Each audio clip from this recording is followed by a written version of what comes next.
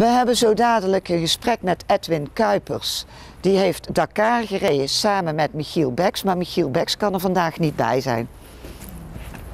Edwin Kuipers die heeft samen met Michel Beks Dakar gereden. Goedemorgen Edwin. Goedemorgen. Hoe was het? Was het de eerste keer dat jullie Dakar reden of eh, heb je al vaker Eh, meegedaan? Nee, voor mij was het de derde keer. We hebben in 2019 de eerste keer meegedaan met, eh, met een midget, met een eigen jeep eigenlijk. En daar zijn we halverwege uitgevallen. En het jaar erop in 2020 hebben we met de Rooi met de vrachtwagen meegedaan. Die hebben we wel gefinished. En nu dit jaar voor de derde keer. Ik hoor een auto en een vrachtauto. Rij je ook nog motors? Dat heb je niet geprobeerd? Nee, dat is ook niet de bedoeling. Dat vind ik iets te risicovol. In de auto zit je net mooi beschermd door een rolkooi en, en, eh, en, en de auto zelf. Hè. Dus als daar iets misgaat, dan zijn die gevolgen vaak wel te overzien. Maar bij de motor, als je daar echt eh er vanaf knalt, dan, eh, dan heb je vaak ook echt wel een serieuze blessure. Dus Ja. dat is voor mij niet weggelegd. Dat trekt je niet, oké. Ehm, ik zag dat jullie een medaille hebben gewonnen. Ik zag er ergens een foto hangen toen straks. Eh, welke plaats? Of krijgt Nou, de, iedereen de een- medaille is eigenlijk de, de- van de deelname. Als je finisht, krijg je een medaille. Dat is eigenlijk ja, toch wel eigenlijk een beetje het bewijs van dat je een Dakar hebt gefinished. Hè. Dat is voor iedereen toch wel het ultieme doel. Uiteindelijk zijn er maar een paar hè, die uiteindelijk die kunnen winnen. En als je dan kijkt wat voor fabriekteams dat dan meedoen, ja, dan is het voor ons als amateurteam eigenlijk, hè, wat het eigenlijk in een vrij korte periode iets, een, auto heeft gebouwd, toch wel moeilijk om daar echt in de top te komen. Je probeert dat natuurlijk wel, maar de medaille is eigenlijk gewoon het bewijs van hey, je hebt Dakar, de zwaarste rally ter wereld, heb je uitgereden. Hè, Dus dat, eh, Met hoeveel teams zijn jullie dan gestart? Want er vallen er volgens mij heel veel af. En dan is het dus inderdaad een prestatie als je de, de, de laatste dag meerijdt en de finish haalt. Ja, zeker. zeker. En, en ik denk dat er in totaal 500 deelnemers meedoen in diverse klassen. Ja. Hè? Dus je hebt motoren, quads, eh, je hebt dan de, de auto's, de vrachtwagens. En wij rijden dan in een SSV-klasse. Dat zijn eigenlijk de kleinere buggies, die vallen net onder de auto's. En eh, wij rijden dan in een klasse waar de prototypes, dat wil zeggen, dat zijn eigenlijk de eigen gebouwde auto's. Eh, daar rijden wij dan in en daar reden denk ik een 52 eh, deelnemers in die klasse mee en wij zijn daar, wij zijn 23 geëindigd en onze teammaat Hans Wijs is daar eh 12 geëindigd. Maar er zijn er 52 gestart. Die zijn alle 52 over de finish nee, gekomen. Nee, er zijn er denk ik, een, ik geloof ongeveer een 35 zijn er. Oh, moest zien hoeveel er afvallen. Ja, dan heb je het knap gedaan, toch? Ja, op zich wel. Dus dat was voor ons ook het doel, hè? de uitrijden zeker het eerste jaar met deze auto. Dus. Dan zei jij net, we hebben die auto zelf gebouwd. Ik heb begrepen dat jullie acht maanden voordat het van start ging nog helemaal niks hadden. Nee, Ik zie dan een lege hal voor me met helemaal niks. Ja, zo kun je het eigenlijk wel zien. Eigenlijk meer een leeg vel papier, want we hadden eigenlijk nog niks en we hadden begin februari in 2021 besloten om, om die stap te gaan maken. En Michiel en ik hebben altijd wel een beetje het, het idealistische idee gehad om, om zelf iets te bouwen en daarmee de zwaarste rally van de wereld te kunnen uitrijden. Hè. Dus ga je steeds je grenzen verleggen. Maar dat hadden we nog nooit gedaan en toen kwam het eh, wilde plan in begin februari en toen hebben we gezegd, goed, we gaan, we gaan kijken wat we daarin kunnen bereiken. Het is wel, ja, een, een doel wat bijna niet haalbaar is, want daar waarschuwde ons ook iedereen voor. Maar we hebben toch eh, de stap genomen en dan zijn we eind februari begonnen met de eerste streep op, op papier met de tekening. En zo zijn we langzaamaan tot midden 21 hebben we de auto, de prototype gebouwd, daar zijn we mee gaan testen.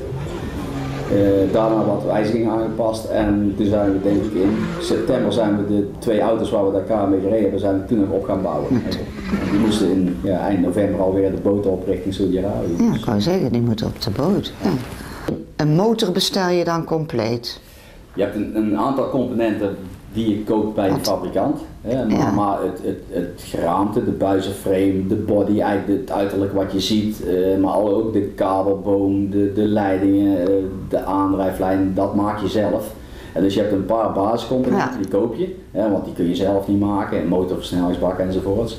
Maar de rest eromheen bouw je eigenlijk helemaal zelf. En dat probeer je ook met een bepaald laag gewicht te krijgen hè, en, en natuurlijk betrouwbaarheid. Want het belangrijkste blijft nog steeds bij een Dakar is gewoon uitrijden. Ja, want je moet door een woestijn, hè? Ook Ja. in Saudi-Arabië gaat het door de woestijn. Ja, je hebt gewoon heel veel verschillende eh, ondergronden en, en, en temperaturen. Want in het begin van de, van Dakar staat eigenlijk twee weken. De eerste week hè, daar heb je, zitten we iets meer naar het noorden toe. Daar is het nog redelijk koud en fris. Hè. De- Overdag is het dan een 3, 24 graden, maar s'nachts gaat het richting het vriespunt. De tweede week kom je meer naar het zuiden en dan krijg je ook iets meer woestijn en, en duinen. En dan ga je wel met temperaturen naar 35 plus. En uh, ja, dan, dan krijg je een heel andere manier van, van koeling en, en techniek leidt dan toch weer veel meer als in de koelere temperaturen. Dus als je daar bent moet je ook nog aan je wagen sleutelen, want je moet die overgang van de ene week naar de andere tot stand brengen. Ja, dat niet, want je maakt de auto wel zo dat die universeel is, dat die eigenlijk voor alle, alle doeleinden geschikt is. Dus, want je rijdt door je auto als andere wedstrijden en daar is het ook wel eens richting het vriespunt. En, en, ja, en dus die moet je toch maken op alle omstandigheden. En, maar sleutel blijf je in Dakar altijd houden. Dat is van dag 1 af. Hè, dat, dat, je rijdt een, een ja, 400 kilometer proef en daarna bijna 3, tot 400 kilometer verbinding eh, van eh, naar de proef toe en, en terug naar de bivak. Ja, en daar, daar zijn bekend ja, kilometers die je normaal in Nederland in de wedstrijd op, uh, de rijden nu al jaren over, om zo maar te zeggen. Dus uh, het onderhoud is daar heel erg belangrijk. Dus het bivak is verder weg als... Ja. Als waar je moet starten, zal ik zeggen, of moet eindigen. Je rijdt gemiddeld een, 700, 800 kilometer per dag totaal. Oeh, ik laste een etappe iets van 167 kilometer. Nee, dat, is de laatste. De laatste oh. etappe is dat geweest, maar de, de gemiddelde etappe is ongeveer een 400 kilometer. Dus op snelheid. Dus je rijdt eigenlijk vanuit het bivak rijden een 100 tot 200 kilometer naar de proef toe. Ja. En dan heb je eigenlijk een proef op snelheid en die duurt 400 kilometer die rijden volgens een roodboek. En als je dan klaar bent, dan moet je vaak ook weer, als je je verplaatst naar een ander bivak, dan moet je daar ook weer een 100 tot 200 kilometer rijden. Of misschien wel ooit meer. Eh, om dan het bivak te komen. En daar kom je vaak ook pas later op de avond aan. Ja, en dan zet je de auto neer, de monteurs gaan aan de slag, zelf ga je eten, een stukje voorbereiden. En dan uh, op, vroeg, op tijd op bed. En, en morgen vroeg staat de auto weer klaar. Die monteurs werken bijna, ja, gewoon s'nachts door. Die slapen eigenlijk overdag en die, zodra wij binnenkomen rond een uur of vijf, zes, zeven of later ooit wat we meegemaakt hebben, ja, die, die beginnen eraan en die gaan gewoon heel de nacht door in die auto om s morgens om acht of zeven of acht uur weer klaar te hebben. Dan moeten jullie op een bepaalde tijd binnen zijn. De eerste is dan zo laat binnen. Zit er dan ook zo'n tijdmarge net als in de Tour de France? Of? Uh, ja, dat is eigenlijk sinds dit jaar is dat eigenlijk gewijzigd. Uh, de jaren daarvoor mocht je gewoon binnenkomen uh, tot een uur voor de volgende start de volgende dag. Dus als je morgen hebt ze een tijdlimiet aangezet en dan heb je bijvoorbeeld 12 uur om die proef af te werken. En, en als je dat niet haalt, dan krijg je een bepaalde straftijd. Of als je echt heel ver overheen zit, ja, dan lig je gewoon uit. En dan mag je nog wel meerijden, maar dan buiten mededinging. Ja. Het waren twaalf etappes, heb ik begrepen. De vierde etappe was voor jullie een speciale etappe? Uh, het was in ieder geval een hele lange etappe voor ons. Want we hadden de eerste dag eigenlijk al een beetje problemen gehad met, uh, met een koppeling die eruit lag. Hadden we al de proef vervangen, dus kwamen we ook al vrij laat binnen. En dan start je ook nog eens heel laat de volgende dag. Want is vaak de, de uitslag van de dag ervoor is een startopstelling van oh. de volgende dag. Dus dat is dan op zich weer een voordeel dat je wat langer tijd hebt om de auto te herstellen en zelf te herstellen.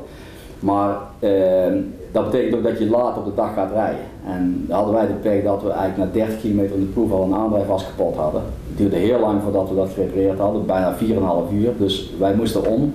Het was een etappe van 465 kilometer en we hadden 30 kilometer gereden. En we moesten om half vijf, kwart voor vijf, moesten we nog beginnen, terwijl we hem gerepareerd, aan de proef voor de resterende 430 kilometer. Maar het begint daar om half zes al donker te worden. Dus wij hebben eigenlijk die hele proef van 430 kilometer uh, hebben wij gewoon in het donker gereden, waarvan ook nog eens 65 kilometer grote duinen. En ik zei tegen Michiel, we gaan gewoon, we gaan gewoon voor, we moeten gewoon uitrijden, want we willen die auto naar de finish brengen. En we kijken wel of dat kunnen halen, want je zit met je tijdslimiet. En je zit met een aantal tankstops, want we hebben eigenlijk een, een kleine buggy met kleine uh, tankinhoud. Dus je hebt dan twee tankstops, maar die tankstops die stoppen op een gegeven moment, die gaan weg. En, en wij waren denken, een half uur voor de laatste tankstop waren we daar.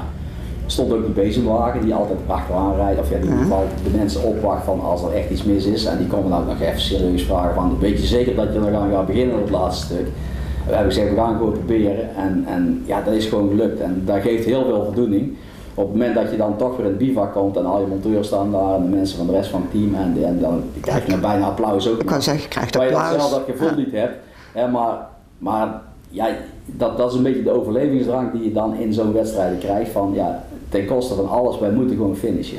En, en dat lukt dan vaak ook gewoon, hè, omdat je dan, ja, natuurlijk, natuurlijk is het zwaar en dan merk je de dagen daarna wel, maar ja, want heb jij niet met een zaklamp voor de auto gelopen? Ja, dat was het laatste stukje. Er was uh, heel veel regenval was daar geweest, een paar dagen van tevoren. Dus stond echt, ja, dat was echt gewoon een soort moeras met een paar paadjes waar je mee door kon. Maar dat zagen wij pas de dag erna op de videobeelden. van de organisatie dat daar iedereen daar stil had gestaan. En wij wisten daar niks van, omdat je niks van de wedstrijd meekrijgt. En uh, dus wij kwamen eraan en we wisten dat daar ja, nattigheid was. Dat stond ik in het roodboek, maar niet zoveel. En er stonden nog een paar vrachtwagens vast, ook nog, die er al bijna de hele dag in vast stonden. En toen uh, heb ik gezegd tegen Michiel, weet je wat, ik loop er wel vooruit met de zaklamp, zoek ik wel een spoortje, volg mij maar en dan komen we zo door. Ja, en dat was ja, wonderbare geluk, want als je achteraf de, de beelden terugkrijgt waar we erheen zijn gekrield, ja, ja, dat is dan ja, wel leuk om mee te maken. Als je, als je een wedstrijd zonder problemen rijdt, heb je bijna geen herinneringen. Maar als je uh, als je dingen meemaakt, hè, de, de, echte avonturen, ja, daar heb je nog jaren verhalen van op, ja, op feestjes. Dat blijft. En dat, dat is ook wel een stukje Dakar gevoel. Maar zo moet het ook zijn, een stukje natuurlijk. Jij zei dat jullie stukken hadden al na de eerste 30 kilometer. Heb je, moeten jullie dat dan met z'n tweeën oplossen, de twee chauffeurs? Ja, of? ja. En je, heb je dan... Je, je hebt wat reserveonderdelen bij en je hebt in de, in de wedstrijdrijder ook een aantal auto's bij, uh, vrachtwagens die wij dan kennen uh, van, van mensen die we intussen al hebben leren kennen die nemen dan, daar kun je, laat ik zo zeggen, kun je onderdelen in de auto leggen. je denkt, je hebt een aantal componenten dat je, die, die kwetsbaar zijn en die leg je dan vaak bij hen in de auto. En zij komen dan vaak pas als vrij laat op de proef en dan stoppen ze bij ons, gooien ze die onderdelen af en dan kunnen wij hem zelf repareren. En zo, zo gaat het dan vaak. Je hebt vaak ook zelf wat componentjes bij, kleintjes, hè, want je wil niet al te veel gewicht mee hebben.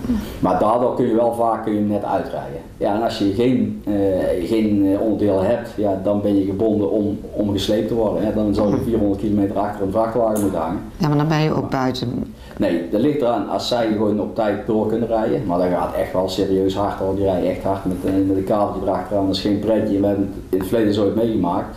Maar uh, ja, dan moet het.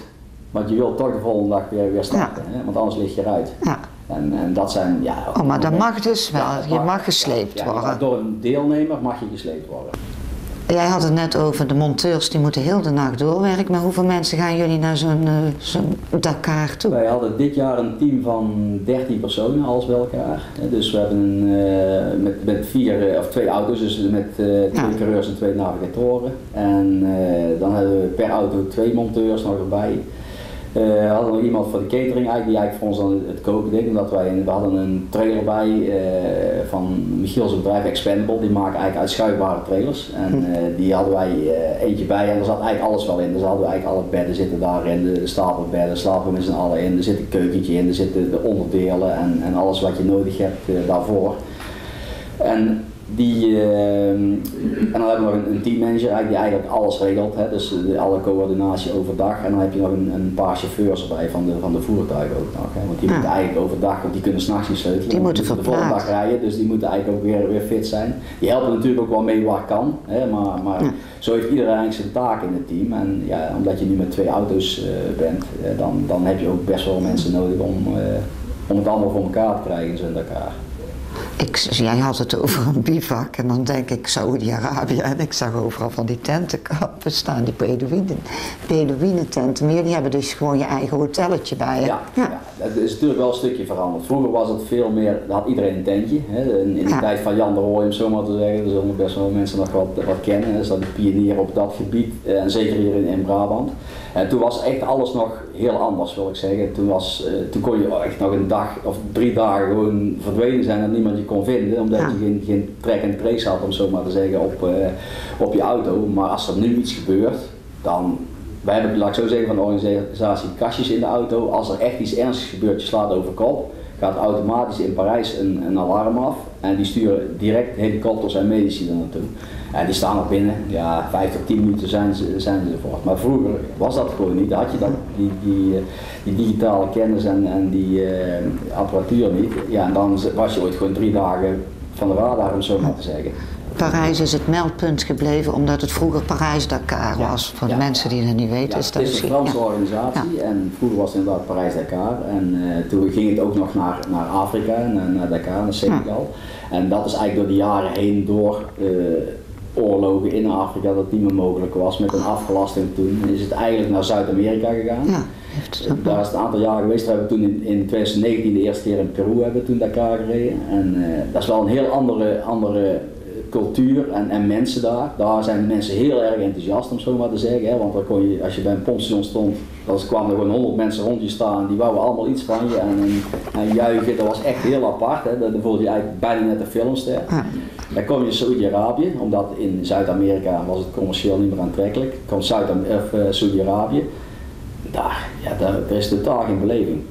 Mensen die kijken eigenlijk nog niet om als je voorbij komt rijden. Dus dat is heel bijzonder. Hè? Als je daar dan met een prijsuitreiking uh, zit of, of de, de finish of de start, dan is er bijna niemand. Dat, in, in dat land leeft dat bijna niet.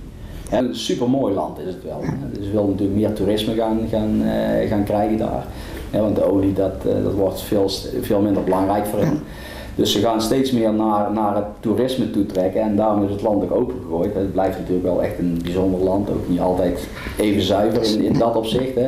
Maar dat merk je wel, doordat nu bijvoorbeeld ook de Formule 1 en de Dakar er naartoe gaat, moet het land wel meer naar de westerse normen toe. Ja. En dus dat stukje hè, merk je wel, hè, bijvoorbeeld was een mooi verhaal. Uh, een, uh, door de Dakar, dat hij daar was, werd er heel veel aandacht gevestigd op de vrouwen die daar echt onder druk zijn. En er zat bijvoorbeeld een prinses en een, een vrouw die protesteerde tegen dat vrouwen geen auto mochten rijden in Saudi-Arabië. Ja. En die is uh, door de druk eigenlijk van de internationale pers, zijn die tijdens de Dakar vrijgelaten.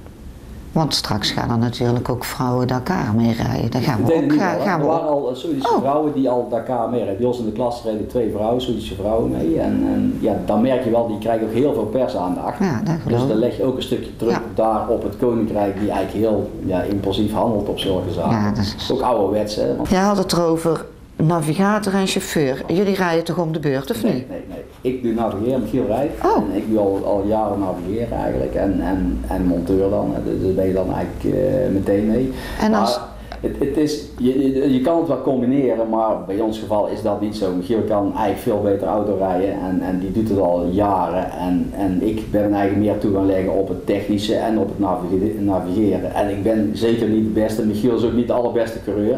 Maar we hebben er alle twee heel veel plezier in. En met name het, het neerzetten van een, van een auto hè, voor de zwaarste rally ter wereld. Wij werken dan dit jaar met een iPad. Hè. Voorheen Oh, kregen we echt een papieren boek.